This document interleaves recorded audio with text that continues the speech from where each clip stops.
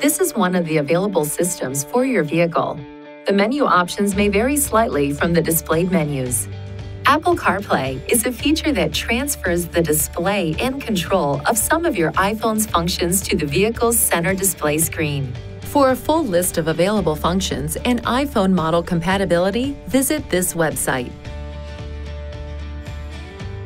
Connect your iPhone using the cable that came with your phone to a USB port. A message will appear on the display to confirm whether or not you want to use the Apple CarPlay feature. Touch Yes. You may change the settings so that Apple CarPlay will not automatically connect every time your phone is plugged into your vehicle. To adjust these settings, touch Settings, Apps, Apple CarPlay, or the name of the device you wish to adjust.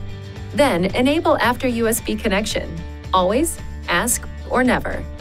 From this menu, you can also touch Nissan's Help for Apple CarPlay for a list of helpful tips. After your iPhone is recognized by the USB connection, the vehicle's center display screen will change to a menu of available iPhone functions. Touch an icon to access that function. Touch this icon to return to the Apple CarPlay main menu.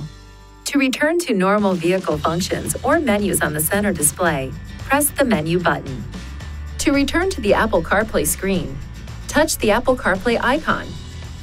To access Siri while connected to Apple CarPlay, press and hold the talk button on the steering wheel, or touch and hold this key on the Apple CarPlay screen. Some Siri functions are not available while driving. For best results when using Siri, speak clearly and reduce background noise by closing the windows.